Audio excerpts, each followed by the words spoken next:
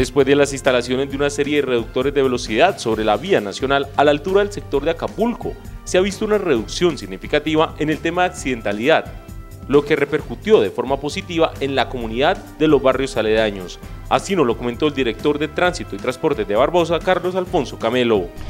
Eh, sí, señor, esto es el resultado de una labor ardua de varios meses de intermediación, reuniones, peticiones, contestaciones, eh, firmas de actas que se han realizado con el Instituto Nacional de Vías con el fin de que se pudieran lograr algunas medidas de mitigación eh, en especial en los principales puntos de accidentalidad. Eh, uno de los puntos neurálgicos de accidentalidad era el sector de Acapulco, un sector donde eh, desafortunadamente la gente tomaba mucha velocidad, los motociclistas adelantaban en doble línea, un, sector donde transita mucho transporte pesado, en igual sentido donde hay mucha influencia de peatones porque es vía de desplazamiento de los estudiantes del sector y comercio, también es un punto de, de, donde confluyen eh, varios barrios, como son los barrios de San Marcos, el barrio de la Metropolitana y los barrios que vienen del sector eh, abajo de, de, Villa María. ¿sí? Entonces en un sector bastante complicado para nosotros y, y fue así que eh, también aquí con, con, la intervención del mismo canal vamos a lograr una socialización para la construcción de estas bandas que hoy en día menos mal ya están construidas y, con, tan buenas, eh, con tan buenos resultados que hasta el día de hoy no se ha vuelto a presentar un accidente en este sector.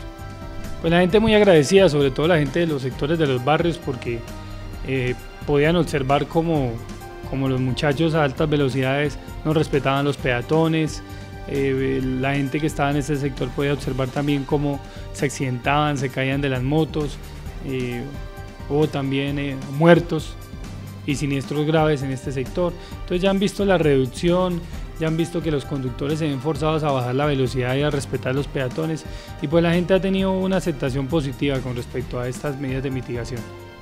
Además de esto, nos comentó sobre los proyectos que se vienen por parte de la Dirección de Tránsito de Barbosa para la comunidad en cuanto a temas de reducción de cifras de accidentalidad. Por ahora tenemos nosotros dos proyectos, básicamente. Un proyecto, eh, un proyecto eh, enmarcado en, la, en el sector del terminal, ¿sí? un, proyecto incluyente. ¿Por qué lo llamamos incluyente? Porque lo que pretendemos nosotros es lograr que en el municipio de Barbosa se respete el peatón, que los conductores de motocicletas y carros le den prioridad al, peatón, que no piensen que porque llevan un carro ellos llevan la vía. Entonces en el sector del terminal vamos a hacer un, proyecto bastante grande de demarcación y señalización que tiene como fin eh, organizar los paraderos provisionales de vehículos de transporte público, taxis, eh, vehículos intermunicipales, vehículos de paso en, rutas nacionales y adicionalmente eh, hacer una demarcación de, de cebras y zonas peatonales para que la gente se pueda desplazar bien en este sector y no le toque andar corriendo o andar haciendo perdónenme la palabra, maromas para pasar de un sector a otro. Ese es uno de los proyectos. El otro proyecto que estamos ya trabajando es el, proyecto de zonas escolares seguras y es un proyecto dirigido hacia los colegios y que lo que pretendemos nosotros es darle seguridad vial a los niños para que puedan desplazar de un lado a otro y se puedan ir a su casa de forma segura, que no siempre tenga que ser en moto o que no siempre se sientan como vulnerables en los sectores donde, donde mayor hay influencia de vehículos.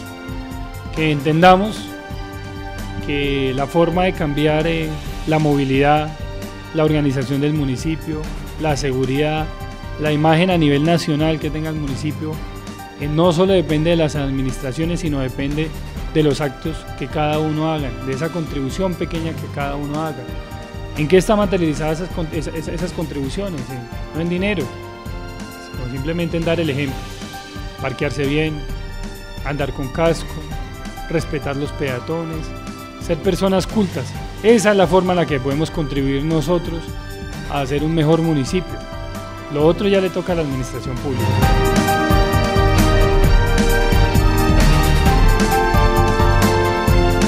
SIB Noticias, información digital al alcance de sus manos.